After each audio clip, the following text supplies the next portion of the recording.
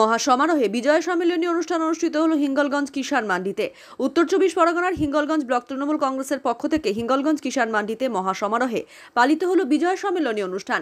নেত্রী মমতা বন্দ্যোপাধ্যায়ের নির্দেশ মেনে এদিনের বিজয় সম্মেলনী অনুষ্ঠানে বিশেষ অতিথি হিসাবে উপস্থিত ছিলেন তৃণমূল কংগ্রেসের বসিরহাট সাংগঠনিক জেলার সভাপতি সরোজ ব্যানার্জি, জেলা যুব সভাপতি শ্রমিক রায় অধিকারী, আইএনটিটিউসি সভাপতি কৌশিক গাঙ্গুলি হিঙ্গলগঞ্জ বিধানসভার বিধায়ক দেবেশ মণ্ডল, হিঙ্গলগঞ্জ বিধানসভার এসসি, এসটি, ওবিসি সেলের সভাপতি সুরজিৎ বর্মন, হিঙ্গলগঞ্জ ব্লক তৃণমূল কংগ্রেস সভাপতি শাহিদুল্লাহ গাজী, এছাড়াও উপস্থিত ছিলেন হাসনাবাদ ব্লক সভাপতি আমিরুল ইসলাম গাজী, হিঙ্গলগঞ্জ অঞ্চল তৃণমূল কংগ্রেসের সভাপতি অলোক মণ্ডল সহ একাধিক নেতৃত্ববৃন্দ।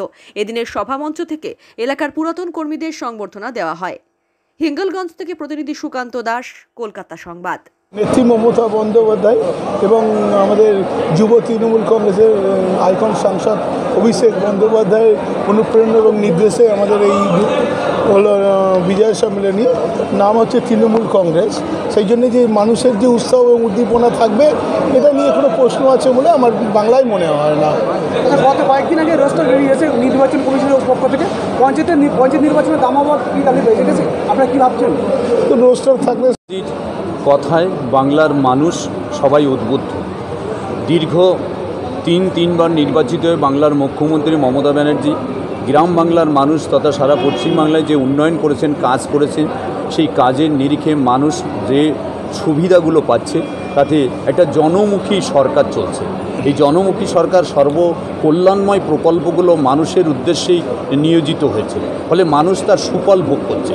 সেই জন্যে মমতা ব্যানার্জির ডাকে তৃণমূল কংগ্রেস কোনো সভা করলে এই রকম জনস্রোত দেখা যাবে এই রকম উপস্থিত দেখা যাবে। এটা মমতা ব্যানার্জির উন্নয়নের ফসল মানুষের জনসমর্থন।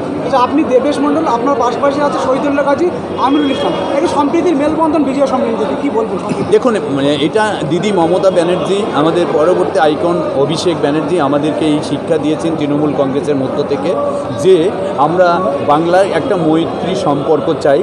বাংলায় যে ঐতিহ্য ছিল, বিবিধের মাঝে মিলন মহান, সেই মিলন মহানটা একমাত্র বাংলার নেত্রী তথা ভারতবর্ষের রাজনীতি একমাত্র লিডার হিসাবে মমতা ব্যানার্জি বজায় রেখেছেন।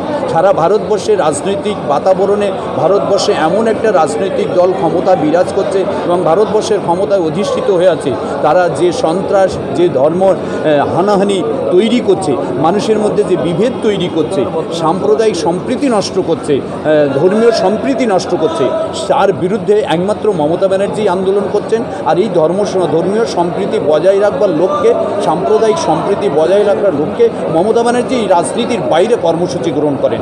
রাজনীতি হয়তো রাষ্ট্র শাসন ব্যবস্থার মধ্যে মানুষের কল্যাণমুখী কাজ করা যায়, কিন্তু তার বাইরে সামাজিকতার মধ্যে দিয়ে মানুষের এই সমস্ত বিজয়ী সম্মেলনের মধ্য দিয়ে ধর্মীয় সম্প্রীতি এবং সকল ধর্মের সমন্বয়ে সকল মানুষের সমষ্টিকে একত্রিত করে এই মেলবন্ধনে চলার রীতি একমাত্র তৃণমূল কংগ্রেসে আছে। সেই জন্য তৃণমূল কংগ্রেস সারা ভারতবর্ষব্যাপী সাম্প্রদায়িক সম্প্রীতি রক্ষাকারী একটা দল হিসেবে পরিচিতি লাভ করছে। এটা মমতা ব্যানার্জির জন্যই সম্ভব হচ্ছে। নমস্কার। দলনেত্রী, সর্বভারতীয় নেত্রী মমতা বন্দ্যোপাধ্যায়, আমাদের মাননীয় মুখ্যমন্ত্রী মমতা বন্দ্যোপাধ্যায়, আমাদের দলের আইকন যুবরা অভিষেক ব্যানার্জির নির্দেশে, আমাদের জেলা নির্দেশে আমাদের এই ব্লকের বিজয়ী সম্মেলন আমার মিষ্টি মুখ।